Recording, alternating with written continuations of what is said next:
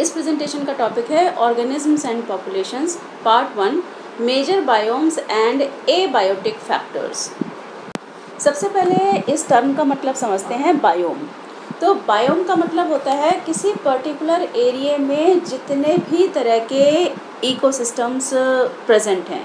Terrestrial ecosystem जो land पे मिलेगा एक्वेटिक इकोसिस्टम जो पानी में होगा और एरियल जो एयर का इकोसिस्टम होगा। जैसे हम किसी फॉरेस्ट की स्टडी कर रहे हैं तो फॉरेस्ट पे लैंड भी है, कोई रिवर पॉन्ड लेक भी है और जो हवा में जो एरियल जो इकोसिस्टम्स होंगे।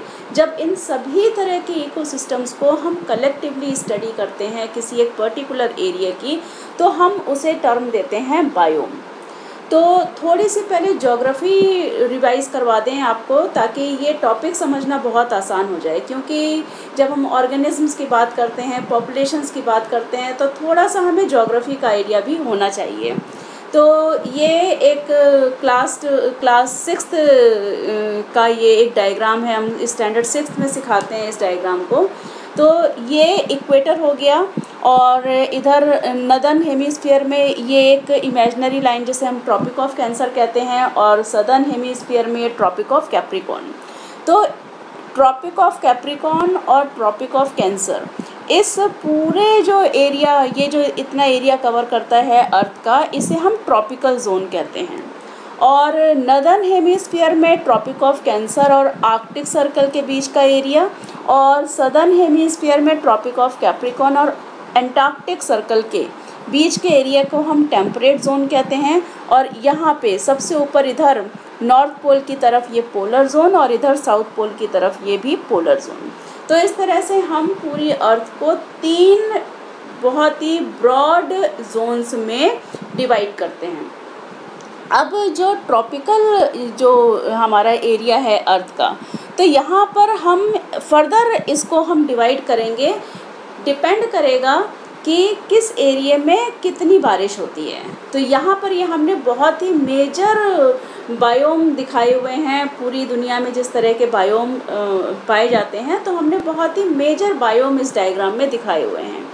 तो ये जो बायोम हम डिस्ट्रीब्यूट करते हैं, उनमें हम दो फैक्टर्स को कंसीडर करते हैं। दो जो बहुत इंपॉर्टेंट फैक्टर्स हैं temperature of that particular area और वहाँ पे बारिश कितनी हो रही है अवेलेबिलिटी ऑफ़ वाटर तो हमें पता है कि ट्रॉपिकल जोन्स में तो जो जोन है, वहाँ पे टेम्परेचर हाई होता है। लेकिन इस ट्रॉपिकल जोन में भी बारिश किसी एरिया में बहुत कम हो रही है तो किसी एरिया में बहुत ज़्यादा हो रही है। तो हम यहाँ पे केवल अभी ये ट्रॉपिकल एरिया की बात करते हैं तो तीन तरह के बायोम हमें ट्रॉपिकल एरिया में देखने को मिलेंगे। डेजर्ट, सवाना, जो ग्रासलैंड होती है, और रेन फॉरेस्ट तो जहाँ ट्रॉपिकल रीजन में, जहाँ पे बहुत ही कम बारिश होगी, वहाँ डेजर्ट बने गए। जैसे सहारा डेजर्ट, याद कर लीजिए, जो अफ्रीका कॉन्टिनेंट में पाया जाता है। ये सवाना ग्रासलैंड, जहाँ पर मॉडरेट बारिश होती है, ना बहुत कम, ना बहुत ज़्यादा। तो ट्रॉपिकल रीजन में ऐसे जगह हैं, जहाँ पर मॉडरेट बारिश होती है तो वहाँ के जो ग्रासलैंड होंगे तो उन्हें हम सवाना ग्रासलैंड कहते हैं। और फिर रेन फॉरेस्ट सबसे अच्छा एग्ज़ाम्पल है अमेज़ोन फॉरेस्ट ये अमेज़ोन सबसे घने फॉरेस्ट हैं दुनिया के, जो उसकी साउथ अमेरिका में ट्रॉपिकल रीजन में पाए जाते हैं। तो इस तरह से हम बायोम्स को डिस्ट्रीब्यूट करते हैं, उन्हें क्लासीफाई करते हैं। फिर यहाँ पे इस डायग्राम में देखें तो जैसे जैसे यहाँ ऊपर की तरफ़ जा रहे हैं तो यहाँ पे टेम्परेचर कम होता जा रहा है। तो ये टेम्परेट तो जो टेम्परेट जो रीज़न है हमारा, ये यहाँ पे हमने बताया है, ये नदन टेम्परेट रीज़न है और ये सदर्न टेम्परेट रीज़न है। यहाँ पे टेम्परेचर कम है, लेकिन कुछ रीजन ऐसे हैं जहाँ बहुत पानी बरस रहा है, कुछ रीज़न ऐसे हैं जहाँ कम पानी बरस रहा है।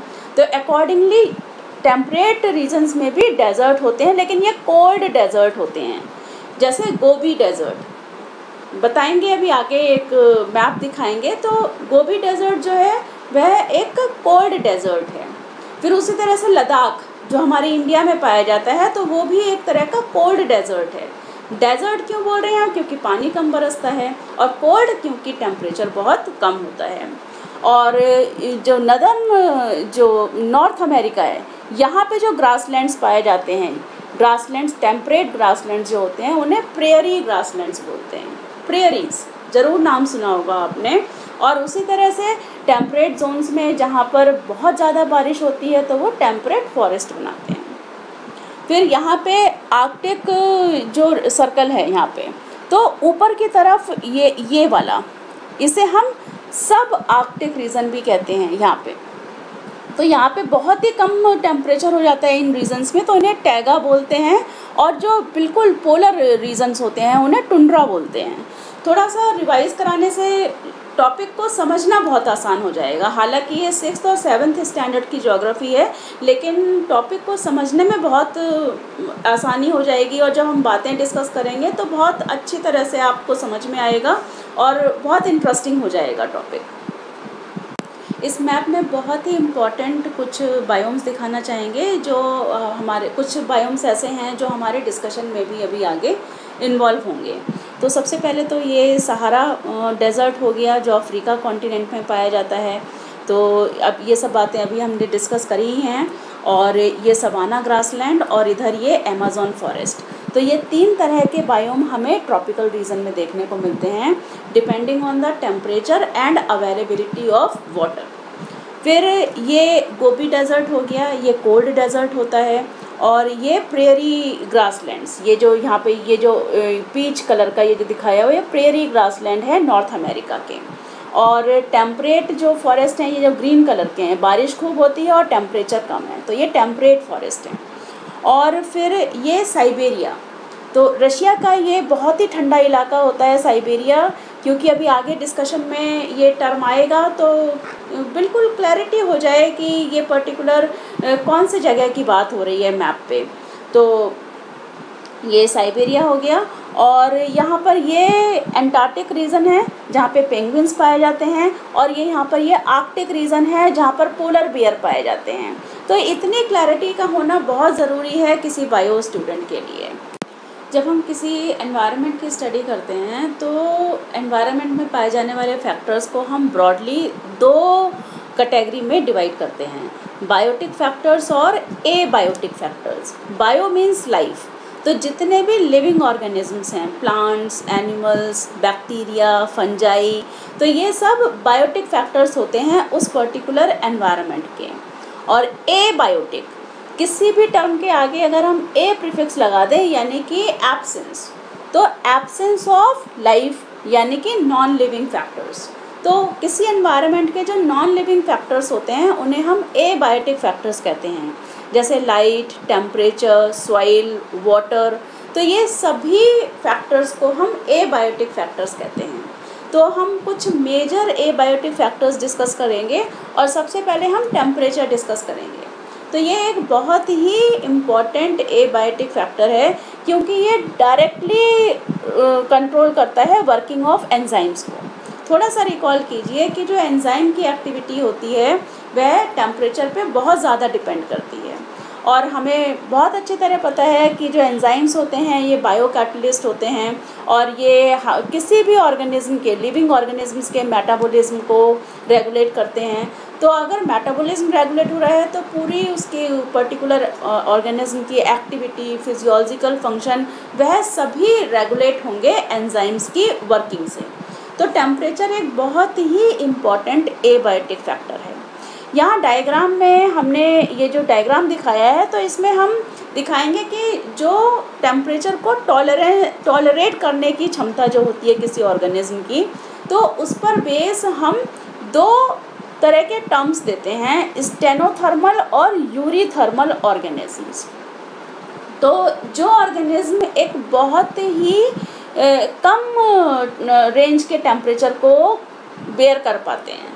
तो उन्हें हम कहते हैं स्टेनोथर्मल ऑर्गेनिजम्स और जो एक वाइड रेंज को बेयर कर पाते हैं, उन्हें हम कहते हैं यूरीथर्मल ऑर्गेनिजम्स तो जैसे पेंगुइन तो पेंगुइन एक स्टेनोथर्मल ऑर्गेनिज्म है क्योंकि ये के बहुत ही नैरो रेंज ऑफ़ टेम्परेचर को ही ये सह पाएगा। और उसी तरह से जो रेप्टाइल्स हैं तो रेप्टाइल्स भी स्टेनोथर्मल ऑर्गेनिजम्स होते हैं क्योंकि ये भी नैरो रेंज ऑफ़ टेम्परेचर को ही आ, सह पाते हैं। तो लेकिन यहाँ पर फर्दर देखो हमने जो जो स्टेनोथर्मल जो दिखाया हुआ है हमने ऑर्गेनिजम्स उनको हमने फर्दर दो में क्लासीफाई किया हुआ है। क्रायोफिलिक और थर्मोफिलिक जो लोअर रेंज को सह पाएँगे ऑर्गेनिजम्स उन्हें हम क्रायोफिलिक ऑर्गेनिजम्स कहेंगे जैसे पेंगुइन तो रेंज तो नैरो है, लेकिन लोअर टेम्परेचर की रेंज नॉर्मल जो है वह ऑप्टिमम है पेंगुइन के लिए। और जो रेप्टाइल्स हैं, इनकी रेंज भी बहुत कम है नैरो रेंज है, लेकिन हायर टेम्परेचर की तरफ़ है। तो रेप्टाइल्स को हम थर्मोफिलिक कहेंगे और पेंगुइन्स को हम क्रायोफिलिक कहेंगे। क्रायो का मतलब होता है कम टेम्परेचर और थर्मो का मतलब है हीट या ज़्यादा टेम्परेचर तो ये तो हो गया स्टेनोथर्मल ऑर्गेनिजम्स के बारे में। और फिर ये यूरीथर्मल जो एक वाइडर रेंज को रेंज ऑफ़ टेम्परेचर को बेयर कर पाते हैं। मैमल्स बहुत अच्छा एग्ज़ाम्पल है। इसी वजह से जो मैमल्स हैं, वह एक वाइड रेंज ऑफ़ बायोम्स में देखे जाते हैं। डेजर्ट में भी मिलेंगे और पोलर रीजन्स में भी मिलेंगे। तो मैमल्स यूरीथर्मल ऑर्गेनिजम्स हैं। यहाँ एक और टर्म लिखा हुआ है इस ग्राफ में ऑप्टिमम तो इसका ज़रा मतलब और बता देते हैं। ऑप्टिमम का मतलब होता है कि वह टेम्परेचर जिस टेम्परेचर पे उस पर्टिकुलर ऑर्गेनिज्म की एक्टिविटी सबसे ज़्यादा होगी, या जब सबसे इफ़ेक्टिवली उस टेम्परेचर पे वह ऑर्गेनिज्म वर्क करेगा। तो वह टेम्परेचर होगा उस पर्टिकुलर स्पीशीज़ के लिए ऑप्टिमम टेम्परेचर तो ऑप्टिमम टेम्परेचर से जब भी हम पॉजिटिव या नेगेटिव की तरफ़ जाएँगे, कम या ज़्यादा की तरफ़ जाएँगे तो वह ऑर्गेनिज्म सरवाइव तो ज़रूर कर पाएगा, लेकिन उसकी एफिशिएंसी कम हो जाएगी। अब हम पढ़ेंगे इफ़ेक्ट्स ऑफ़ टेम्परेचर्स तो सबसे पहले तो ग्रोथ क्योंकि हमने देख लिया है कि टेम्परेचर डायरेक्ट कंट्रोल करता है एक्टिविटी ऑफ़ एंजाइम को। तो एंजाइमेटिक एक्टिविटी ज़्यादा होगी तो रेट ऑफ़ ग्रोथ भी उस ऑर्गेनिज्म का ज़्यादा होगा। फिर मेटाबॉलिज्म ये भी बात हमने डिस्कस कर ली है। और रिप्रोडक्शन तो maturation of gonads and formation of gametes ये टेम्परेचर पे डिपेंड करते हैं।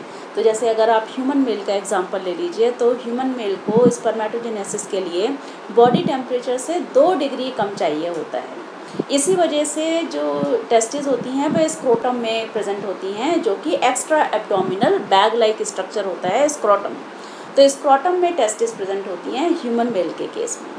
तो इस तरह से टेम्परेचर रिप्रोडक्शन को भी रेगुलेट करता है। फिर डिस्ट्रीब्यूशन तो कुछ पर्टिकुलर ऑर्गेनिजम्स हैं, वह एक पर्टिकुलर रीजन्स में ही पाए जाते हैं। जैसे यहाँ पे एग्जांपल के लिए हमने आइस फ़िश दिया हुआ है। तो आइस फ़िश हमेशा कोल्ड वाटर में मिलेगी और कोरल्स, जो कोरल्स होते हैं, वह हमेशा वार्म वाटर्स में मिलते हैं।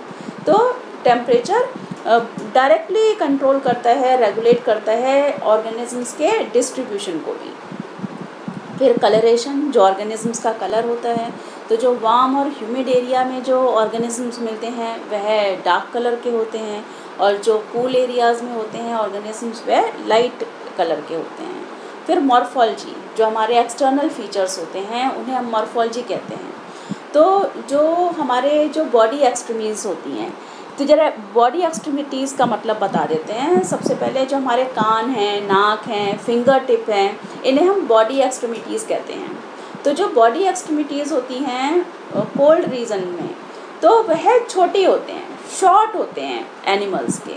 क्यों शॉर्ट होते हैं? क्योंकि बॉडी एक्सट्रीमिटीज़ से सबसे ज़्यादा हीट लॉस होता है। आपने अगर कभी ध्यान दिया हो, जब सर्दियों में नाक सबसे ज़्यादा ठंडी होती है, और जो हमारे पेरेंट्स होते हैं, वह कान ढाकने के लिए स्पेशली कहते हैं कि कैप लगा लो मफलर पहन लो, ताकि, क्योंकि कानों से बहुत ज़्यादा हीट का लॉस होता है। तो जो हमारी बॉडी एक्सट्रीमिटीज़ होती हैं तो इन रीज़न से सबसे ज़्यादा हीट लॉस होता है। तो इस वजह से जो ऑर्गेनिजम्स कोल्डर रीजन में पाए जाते हैं, उन ऑर्गेनिजम्स के कान छोटे होते हैं और भी जो बॉडी एक्सट्रीमिटीज़ होती हैं, वह छोटी होती हैं ताकि हीट लॉस को प्रिवेंट किया जाए। और इस टर्म को, इस पर्टिकुलर फीचर को हम एलन्स रूल भी कहते हैं, क्योंकि एलन नाम के साइंटिस्ट ने सबसे पहले इस बात को डिस्कवर किया था या बताया था। तो इसे हम एलन्स रूल भी कहते हैं। दूसरा इंपॉर्टेंट एबायोटिक फैक्टर है वाटर तो वाटर प्लांट्स की प्रोडक्टिविटी और डिस्ट्रीब्यूशन को ख़ास तौर से कंट्रोल करता है और जब हम एनिमल्स की बात करते हैं या और भी ऑर्गेनिजम्स की बात करते हैं तो हम यहाँ पे दो टर्म के बारे में बताएँगे यूरी हेलाइन और स्टेनो हेलाइन हेलाइन का मतलब होता है सॉल्टी वाटर तो या concentration of salt in water तो जो organisms wide range of salinity को टॉलरेट कर सकते हैं तो उन्हें तो हम कहेंगे यूरी हलाइन ऑर्गेनिजम्स और जो organisms narrow range of salinity को टॉलरेट कर पाएँगे तो उन्हें हम कहेंगे स्टेनोहलाइन फॉर एग्ज़ाम्पल जो स्ट्रिक्टली फ्रेश वाटर या स्ट्रिक्टली मरीन वाटर ऑर्गेनिजम्स होते हैं, उन्हें हम स्टेनोहलाइन कहते हैं। जो या तो केवल सी में मिलेंगे ओशन में मिलेंगे, और या वह केवल नदी पौंड या लेक में मिलेंगे। तो ऐसे ऑर्गेनिजम्स को हम स्टेनोहलाइन ऑर्गेनिजम्स कहते हैं। लेकिन जो स्टरीज में जो ऑर्गेनिज्म पाए जाते हैं, उन्हें हम यूरी हलाइन ऑर्गेनिजम्स कहते हैं। अब स्टरीज क्या होती हैं? तो जो रिवर जिस पॉइंट पर ओशन में आके मिलती है तो उस वाइड एरिया को हम स्टरी कहते हैं। जैसे गंगा जब ये बे ऑफ़ बंगाल में मिलेगी तो उस वाइड एक एक लाइन नहीं होती है जहाँ पर वो रिवर जो है ओशन में मिल जाएगी। एक वाइड एरिया होता है जहाँ पे रिवर और ओशन मिल रहे होते हैं। तो उस वाइड एरिया को इस्चुरी कहते हैं। तो जो इस्चुरी होती है, उसमें सैलिनिटी वेरी करती रहती है। बहुत ज़्यादा वेरी करती है जब ख़ास तौर से जब टाइड्स आते हैं या रिवर में फ्लो पानी ज़्यादा है, जैसे बरसात के दिनों में पानी ज़्यादा है तो बहुत और भी बहुत सारे फैक्टर्स होते हैं जिस वजहों से जो स्टोरी वाला रीज़न होता है, यहाँ पे सैलिनिटी वेरी करती रहती है। तो इस एरिया में पाए जाने वाले ऑर्गेनिजम्स को हम यूरी हलाइन कहेंगे। क्योंकि ये एक वाइडर रेंज ऑफ़ सैलिनिटी को बेयर कर पा रहे हैं। यहाँ एक और इंपॉर्टेंट बात बना, बता दें कि जो फ्रेश वाटर ऑर्गेनिजम्स हैं वह ज़्यादा समय के लिए सी में नहीं रह पाएँगे और जो सी वाले ऑर्गेनिज्म हैं ओशन वाले ऑर्गेनिजम्स हैं वह ज़्यादा समय तक फ्रेश वाटर में नहीं रह पाएँगे क्योंकि इनको ऑस्मेटिक प्रॉब्लम्स होंगी। ऑस्मोटिक प्रॉब्लम्स का मतलब क्या है कि ये अपनी बॉडी फ्लूइड के ऑस्मोटिक रेगुलेशन को कंट्रोल नहीं कर पाएँगे। तो इस वजह से जो एनिमल्स होते हैं, या तो वह स्ट्रिक्टली फ्रेश वाटर होते हैं, या वह स्ट्रिक्टली सी वाटर होते हैं, केवल यूरी हलाइन ऑर्गेनिजम्स को छोड़कर जो कि इस्टरी वाले रीजन में पाए जाते हैं। अब हम तीसरा ए बायोटिक फैक्टर डिस्कस करेंगे लाइट तो इससे रिलेटेड कुछ इंपॉर्टेंट बातें जानते हैं। तो सबसे पहले तो आपको ज़रूर पता होगा sunlight is the ultimate source of energy on earth क्योंकि प्लांट्स सनलाइट को यूज़ करके फ़ोटोसिंथेसिस के थ्रू फ़ूड बनाते हैं। और ये जो प्लांट्स फ़ूड बनाते हैं, ये पूरी फ़ूड चेन फिर इसी फ़ूड पर सर्वाइव करती है। और जो हम घने जंगलों की बात करते हैं तो वहाँ पर पाए जाने वाले हर्ब्स ऑफ़ श्रब्स जो स्मॉल प्लांट्स होते हैं, जो कि ओवर शेडो कर लिए गए हैं टॉल प्लांट्स से। तो अब ये, इनको भी सनलाइट चाहिए, लेकिन इन तक सनलाइट बहुत ही कम पहुँच पा रही है, क्योंकि बहुत घने जंगल हैं और टॉल प्लांट्स की वजह से जो सनलाइट है वह जो ग्राउंड लेवल तक नहीं पहुँच पा रही है या बहुत कम पहुँच रही है। तो उस वजह से जो घने जंगलों में ये जो स्मॉल प्लांट्स होते हैं हर्ब्स और श्रब्स होते हैं जो, ये बहुत ही लश ग्रीन कलर के होते हैं, गाढ़े हरे रंग के होते हैं क्योंकि इनकी लीव्स में कॉन्सनट्रेशन ऑफ़ क्लोरोफिल बहुत ज़्यादा होता है। क्लोरोफिल का कॉन्सनट्रेशन फिर ये बढ़ा लेते हैं। तो ये एक तरह का अडाप्टेशन है, क्योंकि इन प्लांट्स तक बहुत ही कम सनलाइट पहुंचेगी और उसी कम सनलाइट से इन्हें अपना खाना बना लेना है। तो इन्होंने अपने आप को अडाप्ट किया तो इन्होंने क्लोरोफिल का कॉन्सेंट्रेशन बढ़ा लिया तो इसी वजह से जो घने जंगल होते हैं, उनके जो प्लांट्स होते हैं, वह लश ग्रीन कलर के होते हैं। बहुत ज़्यादा हरे भरे होते हैं। नेक्स्ट इंपॉर्टेंट पॉइंट है कि जो प्लांट्स होते हैं, वह केवल फोटोसिंथेसिस के लिए नहीं, और भी बहुत सारी बातें, और भी बहुत सारी चीज़ें होती हैं जो लाइट कंट्रोल करती है रेगुलेट करती है तो फ़ोटो पीरियोडिज्म देखा जाता है प्लांट्स में। तो कुछ प्लांट्स सीजनल होते हैं तो वह सी किसी पर्टिकुलर सीज़न में ही उनमें फ्लावरिंग होगी। तो ऐसा क्यों होता है कि जो सनलाइट जो जो लाइट पीरियड होता है, वह रेगुलेट करता है फ्लावरिंग को। तो कुछ प्लांट्स को लॉन्गर लाइट पीरियड चाहिए तो वह केवल गर्मियों में फ्लावरिंग होगी। कुछ प्लांट्स को शॉर्टर लाइट पीरियड चाहिए तो उन प्लांट्स में फिर सर्दियों में ही फ्लावरिंग होगी। तो जो फ़ोटो पीरियोडिक जो फ़ोटो पीरियोडिज्म भी बोलते हैं इसको तो फ़ोटो पीरियोडिज्म कुछ प्लांट्स में फ्लावरिंग को रेगुलेट करता है। उसी तरह से जो एनिमल्स होते हैं तो एनिमल्स में एक तो जो डायरनल रिद्म होती है डायर्नल रिद्म यानी कि डे और नाइट की रिद्म कुछ एनिमल्स डायर्नल होते हैं, कुछ एनिमल्स नॉक्टर्नल होते हैं। तो जो एनिमल्स की जो एक्टिविटी होती है डे नाइट एक्टिविटी वह भी लाइट से रेगुलेट होती है और कुछ एनिमल्स सीजनल ब्रीडर होते हैं। तो उस केस में भी जो उनकी रिप्रोडक्शन की जो टाइमिंग है तो वह भी फ़ोटो पीरियड द्वारा ही रेगुलेट होती है। और कुछ एनिमल्स माइग्रेट करते हैं तो उनकी जो माइग्रेशन से रिलेटेड जो एक्टिविटी होती है, वह भी लाइट के द्वारा ही रेगुलेट होती है। तो इस तरह से लाइट बहुत इंपॉर्टेंट रोल प्ले करती है कई तरह से प्लांट्स और एनिमल्स की लाइफ साइकिल को रेगुलेट करने में। अब हम एक बहुत इंपॉर्टेंट टॉपिक डिस्कस करेंगे स्पेक्ट्रल क्वालिटी ऑफ़ लाइट अगर आप ट्वेल्थ स्टैंडर्ड के स्टूडेंट हैं और बोर्ड के एग्ज़ाम की तैयारी कर रहे हैं तो इस इंफॉर्मेशन से बहुत इंपॉर्टेंट क्वेश्चन बनता है। तो स्पेक्ट्रल क्वालिटी ऑफ़ लाइट की जब हम डिस्कशन करेंगे तो हमारा पूरा फोकस रहेगा ये विजिबल जो लाइट होती है, जो कि बहुत इंपॉर्टेंट रोल प्ले करती है फोटोसिंथेसिस में।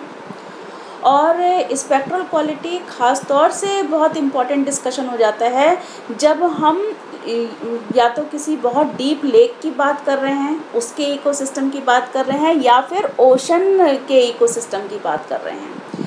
क्योंकि जैसे जैसे हम ओशन में डेप्थ में जाते रहेंगे, वैसे वैसे जो लाइट का पेनिट्रेशन है, वह कम होता चला जाएगा। तो बहुत ज़्यादा डीप में जाएँगे तो वहाँ पर टोटल एब्सेंस ऑफ़ लाइट हो जाएगा फिर। तो जब एब्सेंस ऑफ़ लाइट हो जाएगा तो वहाँ पर उस डेप्थ से नीचे फिर कोई भी प्लांट का जो प्रेजेंस है, वो फिर हमें नहीं दिखाई देगी। तो ये सारी बातें डिस्कस करने से पहले एक बात जानते हैं कि किसी भी वेव की जैसे जैसे वेव लेंथ बढ़ती है वैसे वैसे उसकी एनर्जी कम होती चली जाती है। तो जब हम विजिबल लाइट की बात करें विबग्योर की बात करें तो जब हम वॉयलेट से रेड की तरफ़ जाते हैं तो वेव लेंथ बढ़ती है। इसका मतलब यह हुआ कि जब हम वॉयलेट से रेड की तरफ़ जाते हैं तो एनर्जी कम होती है। तो यानी कि जो रेड कलर की लाइट है, इसके जो पेनिट्रेशन की क्षमता है वाटर में, वह बहुत ही कम है। ये बहुत कम डेप्थ तक ही पेनिट्रेट कर पाएगी ओशन में या किसी डीप लेक में। और जो ब्लू कलर की लाइट है, ये सबसे डीप तक चली जाती है, क्योंकि इसकी जो एनर्जी है वह सबसे ज़्यादा है। अब ये जो पेनिट्रेशन की क्षमता है, ये रेगुलेट करेगी डिस्ट्रीब्यूशन ऑफ़ एल्गी को। तो यहाँ पर हमने तीन तरह की एल्गी दिखाई हैं रेड ब्राउन और ग्रीन तो ये जो कलर होता है इन एल्गी का, ये डिपेंड करता है कि इस एल्गी में कौन से तरह के पिगमेंट्स पाए जा रहे हैं। तो क्योंकि रेड एल्गी में एक पिगमेंट होता है फाइकोबिलिन तो फाइकोबिलिन पिगमेंट होने की वजह से ये ब्लू लाइट को ज़्यादा एब्जॉर्ब करता है। तो इस वजह से जो रेड एल्गी है, ये डीपेस्ट ओशन तक में पाई जाती है। जो ओशन में बहुत गहराई में भी हमें रेड एल्गी देखने को मिलेगी। और केवल कुछ डेप्थ तक ही हमें ब्राउन एल्गी मिलेगी और सुपरफिशियल लेयर्स पर हमें केवल ग्रीन एल्गी मिलती है। तो इस तरह से स्पेक्ट्रल क्वालिटी ऑफ़ लाइट, ये एलगी के डिस्ट्रीब्यूशन को भी रेगुलेट करती है। तो ये एक बहुत इंपॉर्टेंट क्वेश्चन बनता है इस इंफॉर्मेशन से बोर्ड के एग्ज़ाम में। अभी हमने ए बायोटिक फैक्टर्स डिस्कस करे और हम देखेंगे कि ऑर्गेनिजम्स किस तरह से रिस्पॉन्ड करते हैं इन ए बायोटिक फैक्टर्स के प्रति। तो सबसे पहले तो ये है कि जो लिविंग ऑर्गेनिजम्स होते हैं, वह अपने इंटरनल एनवायरनमेंट को यूनिफॉर्म रखने की क्षमता दिखाते हैं। वह पूरी कोशिश करते हैं कि जो उनका इंटरनल एनवायरनमेंट है, वह यूनिफॉर्म रहे। क्योंकि अगर वो अपना इंटरनल एनवायरनमेंट को रेगुलेट करते हैं तो उनकी एफिशिएंसी फिर मैक्सिमम होती है, जिसको हम ऑप्टिमम भी बोलते हैं। तो वह अब पूरी कोशिश करते हैं कि उनका जो इंटरनल एनवायरनमेंट है, ख़ासतौर से टेम्परेचर और ऑस्मोटिक जो जो बॉडी फ्लूड का जो ऑस्मोटिक कॉन्सेंट्रेशन है। तो इनको रेगुलेट करने की क्षमता दिखाते हैं और इस प्रोसेस को फिर हम होम्योस्टेसिस कहते हैं। तो होम्योस्टेसिस एक्चुअली एक एनर्जी डिमांडिंग प्रोसीजर है, बहुत एनर्जी लगती है, बहुत, लेकिन उसके बावजूद भी जो ऑर्गेनिजम्स हैं वह होम्योस्टेसिस को शो करते हैं, क्योंकि इंटरनल एनवायरनमेंट को रेगुलेट करने में उनकी एफिशिएंसी बढ़ती है। और ख़ास तौर से जब हम हीट लॉस या हीट गेन की बात करें तो इसका डायरेक्ट कनेक्शन होता है सरफेस एरिया से। तो अगर कोई छोटा एनिमल है तो उस एनिमल के वॉल्यूम की अपेक्षा सरफेस एरिया ज़्यादा है। थोड़ा सा थोड़ा सा मैथमेटिक्स है यहाँ पर। अगर साइज़ कम होता है तो सरफेस एरिया वॉल्यूम रेशियो ज़्यादा होता है। वॉल्यूम की अपेक्षा सरफेस एरिया और साइज़ अगर छोटा है ऑर्गेनिज्म का तो सरफेस एरिया वॉल्यूम ज़्यादा है। और अगर बड़ा ऑर्गेनिज्म है तो सरफेस एरिया वॉल्यूम रेशियो कम है। तो इसी कैलकुलेशन को देखते हुए जो ठंडे जो जगहें होती हैं, जो जहाँ पर ठंड ज़्यादा पड़ती है कोल्डर एनवायरनमेंट में हीट लॉस को प्रिवेंट करने के लिए, वहाँ पर जो पाए जाने वाले ऑर्गेनिजम्स हैं यूजुअली वह बड़े साइज़ के होते हैं। जैसे पोलर रीजन में छोटे ऑर्गेनिजम्स नहीं मिलते हैं। पोलर रीजन में छोटे ऑर्गेनिज्म नहीं मिलेंगे, अधिकतर बड़े साइज़ के ऑर्गेनिजम्स मिलते हैं। क्योंकि सरफेस एरिया वॉल्यूम रेशियो जो है मेंटेन रहेगा, जिसकी वजह से हीट लॉस के चांसेस कम रहेंगे। इस ग्राफ में हमने दिखाया है कि ऑर्गेनिजम्स किस तरह से रिस्पॉन्ड करते हैं एनवायरमेंटल फैक्टर्स के प्रति। तो यहाँ पर ये हमने एनवायरनमेंट ग्रेडियंट दिखाया हुआ है। ये एनवायरमेंट किसी भी एनवायरनमेंट फैक्टर का ऑप्टिमम रेंज है। तो जिस रेंज पर, और यहाँ पे ये पॉपुलेशन साइज़ दिखाया हुआ है। तो अगर ऑप्टिमम रेंज है किसी पर्टिकुलर जगह पे तो उस ऑप्टिमम रेंज में जो ऑर्गेनिज्म की जो पॉपुलेशन होगी, वो सबसे ज़्यादा होगी। और ऑर्गेनिज्म की ग्रोथ और फिटनेस भी सबसे ज़्यादा होगी। जैसे जैसे ऑप्टिमम से हम ज़्यादा या कम की तरफ़ बढ़ते हैं वैसे वैसे पॉपुलेशन का साइज़ कम होता चला जाएगा। और बहुत ही ज़्यादा एक्सट्रीम्स पर फिर वह पॉपुलेशन वो पर्टिकुलर स्पीशीज़ की पॉपुलेशन फिर बिल्कुल ही एबसेंट हो जाएगी, ख़त्म हो जाएगी। क्योंकि उसके बियॉन्ड फिर वह उस एनवायरमेंटल कंडीशन को बेयर नहीं कर पा रही है, दोनों तरफ़ पॉजिटिव तरफ़ भी और नेगेटिव तरफ़ भी। अगर टेम्परेचर को अगर हम देखें तो एक ऑप्टिमम टेम्परेचर पे सबसे ज़्यादा पॉपुलेशन होगी या एक ऑप्टिमम टेम्परेचर पे सबसे ज़्यादा ग्रोथ होगी उस पर्टिकुलर ऑर्गेनिज्म की। लेकिन जैसे जैसे हम टेम्परेचर बढ़ाएँगे, वैसे वैसे पॉपुलेशन कम होती चली जाएगी और एक पर्टिकुलर टेम्परेचर के बियॉन्ड फिर पॉपुलेशन बिल्कुल ही ख़त्म हो जाएगी। उसी तरह से यहाँ पर जैसे जैसे हम टेम्परेचर कम करेंगे तो ऑर्गेनिजम्स कम होते चले जाएँगे और एक पर्टी पर्टिकुलर टेम्परेचर के बियॉन्ड और अगर कम करते हैं तो फिर ऑर्गेनिजम्स उस टेम्परेचर पे सरवाइव बिल्कुल भी नहीं कर पाएँगे। तो इस ग्राफ में हमने ऑर्गेनिजम्स का रिस्पांस दिखाया है किसी पर्टिकुलर एनवायरमेंटल फैक्टर के ग्रेडियंट पे। इस ग्राफ में हमने दिखाया है कि ऑर्गेनिजम्स एडवर्स सिचुएशंस को किस तरह से फेस करते हैं। तो दो तरह के ऑर्गेनिजम्स होते हैं रेगुलेटर्स और कन्फॉर्मर्स दोनों डिस्कस करेंगे तो जैसे ये पहला ग्राफ दिखाया हुआ है रेगुलेटर्स का। ये जो ए ग्राफ है, ये रेगुलेटर्स का है। तो यहाँ पर ये एक्सटर्नल एनवायरनमेंट है और यहाँ पर इंटरनल एनवायरनमेंट है। तो कोई भी जैसे ऑस्मो ऑस्मोलैरिटी ले लेते हैं तो एनवायरनमेंट में ऑस्मोलैरिटी और जो बॉडी फ्लूइड है उसकी ऑस्मोलैरिटी तो एनवायरनमेंट में जो ऑस्मोलैरिटी है वो वेरी कर रही है। तो ये जो ऑर्गेनिजम्स हैं, जो रेगुलेटर्स हैं, ये अपने इंटरनल जो बॉडी फ्लूइड की ऑस्मोलैरिटी है, वह कांस्टेंट ही मेंटेन रखेंगे। वह कांस्टेंट मेंटेन रखेंगे, वह उस ऑस्मोलैरिटी को रेगुलेट करेंगे। तो ये तो होते हैं रेगुलेटर्स अब जैसे टेम्परेचर का एग्जांपल ले लेते हैं कि एक्सटर्नल एनवायरनमेंट में टेम्परेचर लगातार बढ़ रहा है। लेकिन एक पर्टिकुलर रेंज तक वह जो टेम जो ऑर्गेनिजम्स होंगे, वह अपने बॉडी टेम्परेचर को मेंटेन करेंगे कांस्टेंट रखेंगे। जैसे मैमल्स तो वह एक्सटर्नल एनवायरनमेंट के हिसाब से अपना बॉडी टेम्परेचर को कम या ज़्यादा नहीं होने देंगे। एक पर्टिकुलर रेंज तक वह अपने बॉडी टेम्परेचर को मेंटेन करने की कोशिश करते रहेंगे। तो ऐसे ऑर्गेनिजम्स को हम रेगुलेटर्स कहते हैं। इनके ऑपोजिट कन्फॉर्मर्स होते हैं। कन्फॉर्मर्स वो अपने जो एक्स जो भी एक्सटर्नल एनवायरनमेंट है उस हिसाब से अपने इंटरनल एनवायरनमेंट को चेंज करते हैं। जैसे अगर जो एक्सटर्नल एनवायरनमेंट में टेम्परेचर चेंज हो रहा है तो उनका जो बॉडी टेम्परेचर है, वह भी चेंज होता चला जाएगा, वो ऐसे रेगुलेट नहीं कर पाएँगे। तो उसे हम कहें, ऐसे ऑर्गेनिजम्स को हम कहेंगे कन्फॉर्मर्स तो ये दो स्ट्रेटजीज़ होती हैं, दो तरह के ऑर्गेनिजम्स होते हैं रेगुलेटर्स और कन्फॉर्मर्स अभी आगे और डिटेल में इन दोनों ग्रुप्स के बारे में डिस्कस करेंगे। रेगुलेटर्स और कन्फॉर्मर्स के बारे में कुछ इंपॉर्टेंट पॉइंट्स डिस्कस करते हैं। तो सबसे पहले रेगुलेटर्स के बारे में जानते हैं। तो जितनी भी कैटेगरीज हमने डिस्कवर कर ली हैं ऑर्गेनिजम्स की, उसमें केवल बर्ड्स और मैमल्स ये दो कैटेगरीज हैं जो रेगुलेटर्स होते हैं। बहुत ही छोटा परसेंटेज है जो रेगुलेटर होते हैं। और ख़ासतौर से मैमल्स की बात करें तो ये बहुत वाइड डिस्ट्रीब्यूशन है मैमल्स का तो वह केवल इस वजह से है क्योंकि ये अपना बॉडी टेम्परेचर कांस्टेंट मेंटेन कर पाते हैं।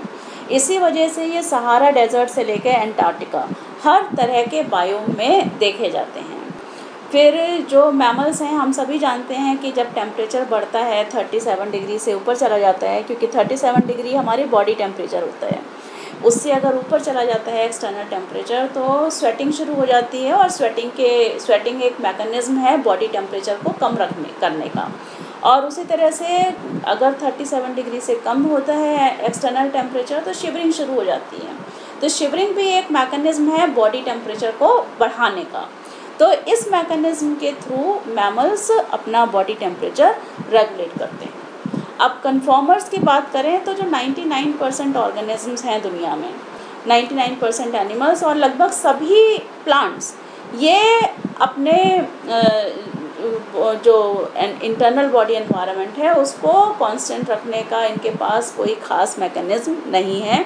इनका बॉडी टेम्परेचर सराउंडिंग टेम्परेचर के हिसाब से बदलता रहता है। उनके पास ये मैकेनिज़्म नहीं है। और जो एक्वेटिक ऑर्गेनिजम्स हैं इनका जो बॉडी फ्लूइड है, उसका ऑस्मोटिक कॉन्सेंट्रेशन भी ये चेंज करते रहते हैं सराउंडिंग वाटर के ऑस्मोटिक कॉन्सेंट्रेशन के हिसाब से। तो लेकिन जो कन्फॉर्मर्स हैं, इनकी एफिशिएंसी रिड्यूस होती है स्ट्रेसफुल कंडीशंस में। तो ये कुछ इंपॉर्टेंट पॉइंट्स हैं रेगुलेटर्स और कन्फॉर्मर्स के बारे में। अभी अभी हमने रेगुलेटर्स और कन्फॉर्मर्स को कंपेयर किया और देखा कि रेगुलेटर्स वाइड रेंज में अपनी एफिशिएंसी को मेंटेन कर पाते हैं होम्योस्टेसिस के द्वारा। तो जब होम्योस्टेसिस इतना बेनिफिशियल है सर्वाइवल में तो अब क्वेश्चन ये उठता है कि हर ऑर्गेनिज्म इस मैकेनिज्म को डेवलप क्यों नहीं कर पाया? तो इसका आंसर ये है कि होम्योस्टेसिस एनर्जी के टर्म्स में एक बहुत ही एक्सपेंसिव प्रोसेस है। बहुत ह्यूज कॉस्ट पे करनी पड़ती है होम्योस्टेसिस की एनर्जी के टर्म्स में। और हर ऑर्गेनिज्म अभी उस लेवल तक नहीं इवॉल्व हुआ है कि वह उतनी ह्यूज कॉस्ट को दे सके, उतनी ह्यूज कॉस्ट को स्पेंड कर सके इन टर्म्स ऑफ़ एनर्जी अभी अभी हमने डिस्कस किया कि काफ़ी जो ऑर्गेनिजम्स हैं, बहुत बड़ा परसेंटेज है ऑर्गेनिजम्स का जो कन्फॉर्मर्स हैं और बहुत ही नैरो रेंज में वे अपनी एफिशिएंसी को मेंटेन कर पाते हैं।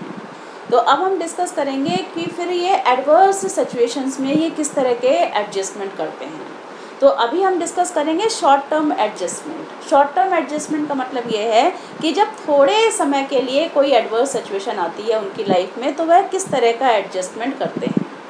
तो सबसे पहली स्ट्रेटजी है माइग्रेशन तो वह माइग्रेट कर जाते हैं. बहुत अच्छा एग्ज़ाम्पल है साइबेरियन क्रेन्स का. ज़रूर सुना होगा आपने नाम साइबेरिया से आते हैं ये. रशिया का जो ठंडे इलाके हैं मैप में दिखाया था जब डिस्कशन शुरू किया था तो साइबेरिया से ये इंडिया आते हैं. इंडिया में राजस्थान में भरतपुर सेंचुरी है. वहाँ पर ये काफ़ी देखे जाते हैं साइबेरियन क्रेन्स तो जब वहाँ ठंड पड़नी शुरू हो जाती है तो वह वहाँ से माइग्रेट करते हैं और इंडिया में भी आते हैं और भी बहुत सारी जो ट्रॉपिकल कंट्रीज़ हैं, वहाँ पर आ जाते हैं।